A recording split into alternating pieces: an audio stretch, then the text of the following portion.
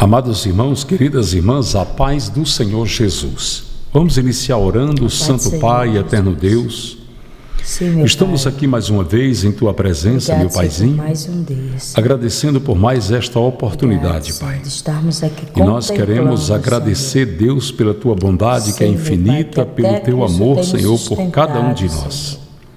Queremos Somos pedir, Pai gratos, querido, a Tua Senhor. direção para a vida dos nossos Ilumina, irmãos e irmãs que nos acompanham Nesta Pai. oração da manhã. Mostre o Que caminho. o Senhor Senhor. possa, Pai querido, Mostra visitar o coração de cada um, dando direção do Teu Santo Espírito, Sim, mostrando Pai. os caminhos a serem percorridos. É. Deus, que a tua mão poderosa esteja estendida Sim, sobre a vida dos teus filhos e filhas, Deus, os amparando, os direcionando e Sim, os Senhor. abençoando na sua saúde, na sua família, Senhor, no trabalho que cada um Jesus. tem no trabalho que cada um deseja. Sim, Que o Senhor. Possa abrir as portas, meu Pai, e derramar do teu Santo Espírito a sabedoria e a direção. Pai. É o que pedimos, Paizinho, e agradecemos no nome de Jesus. Em nome de Jesus. Amém. Amém. Muito bem, amados. Nós estamos aqui em mais uma oração da manhã para agradecer a Deus. Vamos agradecer pelo, pelos votos de feliz aniversário. É sim, quero agradecer aqui primeiramente a Deus e a todos que tiveram um tempinho, tiraram um tempinho para me parabenizar. Eu louvo a Deus pela confiança que Deus me deu e pela vida de cada um de fazer parte, de vocês confiarem nessa missão que Deus me deu. Que Deus abençoe grandemente a cada um, todos que me parabenizaram, de perto e de longe. Que Deus abençoe grandemente em nome de Jesus. Sou grata a Deus pela vida de cada um. Amém. Glória a Deus. Queridos, vamos falar um pouco sobre o que é que Deus mais se agrada nos seus filhos. Vamos pegar aqui como base o Salmo 51, versículo 17, que diz que um coração quebrantado e contrito, Deus não rejeita. Verdade. Então, o coração que Deus não rejeita, Ele abraça. E nós precisamos nos lembrar disso. A palavra do Senhor diz que um coração grato deve ser realidade na vida de qualquer crente e que isso agrada muito a Deus. Veja o Salmo 92, nos seus versículos 1 e 2. Como é bom render graças ao Senhor e cantar louvores ao teu nome, ó Altíssimo. Anunciar de manhã o teu amor leal e de, de noite a tua fidelidade. A palavra está enaltecendo o crente que agradece a Deus, que louva a Deus, porque isso é agradável ao Senhor. Quando nós nos lembramos de agradecer a Deus, não só por aquilo que nós recebemos como sendo bom, mas a palavra de Deus diz que em tudo dai graças a Deus. Verdade. É verdade? Então, quando você tem um coração grato, até mesmo quando enfrenta as lutas, Senhor, eu agradeço, porque eu sei, Deus, que esta luta vai contribuir para o meu crescimento espiritual, isto vai alegrar o coração de Deus. Deus se sente feliz quando os seus filhos têm essa impressão dele, que o nosso Deus, ele é acima de tudo um lapidador. Olha o que diz 1 Tessalonicenses 5,18. Dei graças em todas as circunstâncias, pois esta é a vontade de Deus para vocês em Cristo Jesus. Você veja que a Aleluia. palavra está dizendo de graças a Deus em qualquer situação, porque essa é a vontade de Deus. Nós devemos agradecer a Deus pelas lutas, pelas dificuldades, porque se nós estamos passando por um processo de enfermidade e agradecemos a Deus, Ele vai nos dar a cura para que nós tenhamos mais esse motivo para louvar o seu santo. Aleluia. Salmo 103, versículo 2. Bendiga ao Senhor minha alma, não esqueça nenhuma de suas bênçãos. Não devemos Aleluia. esquecer as bênçãos de Deus É lançadas sobre nossas vidas. A palavra de Deus vai dizer que tudo aquilo que nós formos fazer, nós devemos colocar o agradecimento a Deus à frente.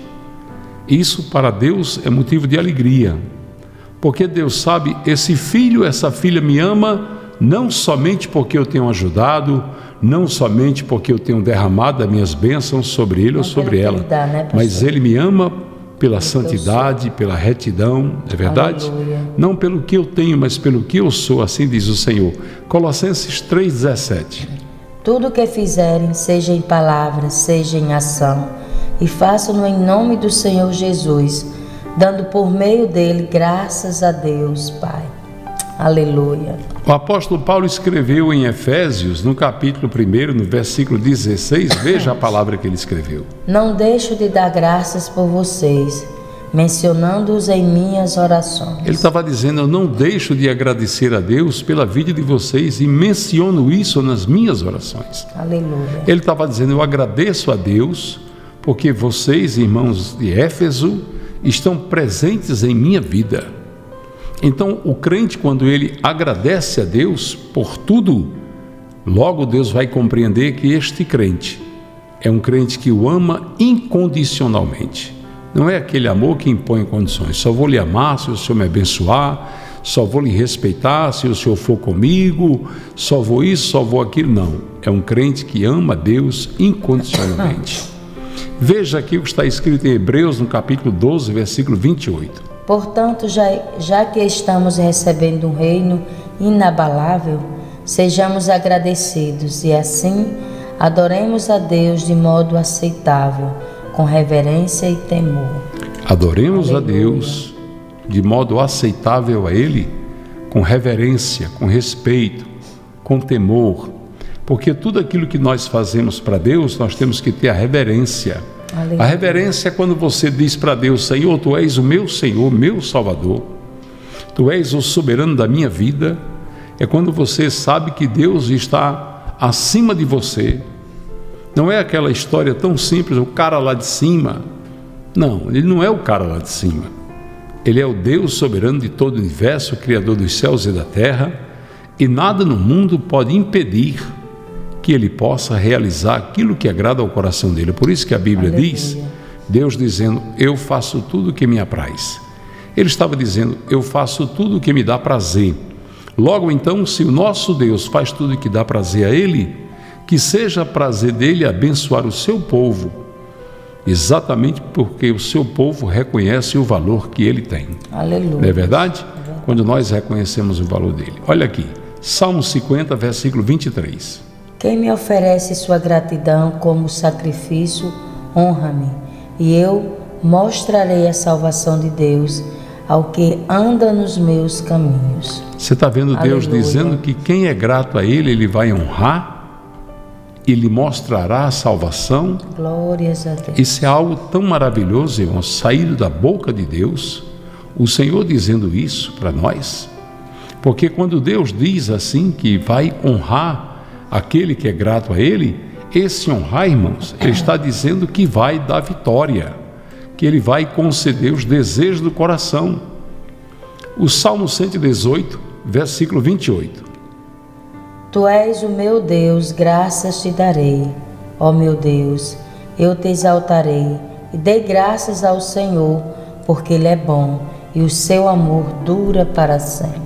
Esses motivos dito pelo salmista aqui, porque ele é bom e o seu amor dura para sempre, são motivos para nós agradecermos a Deus todos os dias. A palavra de Deus diz o quê? Que o amor de Deus é a causa de não sermos consumidos. Verdade. É o amor dele. O amor de Deus ao enviar seu Filho amado Jesus Cristo para nossas vidas, prolongou nossas vidas. Amados, você sabe que nós, todos nós, somos felizes quando vemos as pessoas que nós ajudamos serem gratas. Não é que a gente quer que falem nosso nome, mas a pessoa às vezes diz assim: Nossa, Fulano não disse nem obrigado, né? Eu fiz isso, foi embora, não falou nem obrigado. né? Eu outro dia mesmo, agora há poucos dias, eu vi isso. Dois rapazes estavam empurrando um carro de um taxista. O carro pegou, o taxista foi embora, não deu nem com a mão, um olhou para o outro e falou: Aí é bom, hein? Não deu nem obrigado a nós. Quer dizer, porque empurraram o carro, queria ouvir: Obrigado, amigo, Deus abençoe. Se nós somos assim, imagine Deus que é santo, que é poderoso. Verdade. Então nós não devemos perder a oportunidade de agradecer a Deus. E olha, não é só agradecer, é agradecer por tudo. É verdade. E é o que nós vamos fazer agora, uma oração de gratidão, né, amor? É sim. Vamos orar e nesta oração de gratidão nós vamos dizer: Pai Santo, Santo e poderoso. Senhor, nos dá um coração grato, um coração que compreende, Deus, as maravilhas que o Senhor tem feito por cada um de nós. Nós queremos agradecer em nome de todas as nossas ovelhinhas. Agradecer, Pai, porque o teu olhar misericordioso tem olhado para nós, compreendendo as nossas fraquezas. E nós sabemos, Paizinho, que os teus filhos e filhas têm caminhado, Deus, pelas estradas da vida, buscando, Deus, uma forma para te agradar.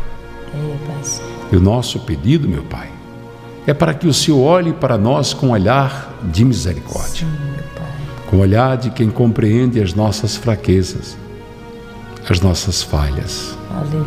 Ô Paizinho, visita agora Visita os corações que estão Visita, tristes nesta manhã. Visita aqueles, Pai, que perderam as esperanças. Visita, Pai querido, aqueles que já não encontram solução para as muitas dificuldades enfrentadas na vida e que já não mantêm nem a alegria de viver. Ó oh Deus, Tu és Criador de todas as coisas. Tu és, tu és o Deus que tudo pode, nós sabemos disso. Cura, Senhor, as enfermidades. Visita os enfermos. Sara as feridas. Tira, Senhor, as raízes de amargura. Abençoa, Pai, teu povo, abrindo as portas de emprego, dando oportunidade para que possam ganhar o pão de cada dia para a sua família. Visita, Paizinho querido, nossos dizimistas, ofertantes, recompensando a todos com a tua bondade. Oh, papaizinho Sim, querido. Meu pai faz assim. Abençoa os que trabalham Abençoa. e os que estão sem trabalho para que arranjem trabalho. Tu és o Deus que abre as portas. Não há impossível para ti. Sim. Nós queremos pedir também, Deus, a restauração dos Sim, casamentos. Pai, queremos pedir que as tuas filhas que estão temerosas em perderem o casamento Sim. recebam da tua parte um sinal que o Senhor está cuidando do coração do homem, que o Senhor está trabalhando no coração do homem e que o Senhor fará, Deus, aquilo que lhe apraz, é aquilo que lhe agrada. É isso, Paizinho querido, que nós pedimos e já agradecemos, meu Deus, no santo, poderoso e eterno nome do teu Filho amado Jesus. Amém. Abençoa a todos, em nome, nome de, Jesus de Jesus Cristo. Amém. Amém. Amém, igreja. Amém, pastor. Amém. Sou lindo. Beijo nas Beijo nossas ovelhinhas queridas. Nosso coraçãozinho cheio do amor. Olha, assim, amor, cheio coraçãozinho de cheio de amor por Jesus e por vocês. Agradecemos a Deus. Nos encontramos daqui a pouquinho no culto do lar. Fique na paz, Deus abençoe a todos em nome de Jesus. Fica na paz. Amém.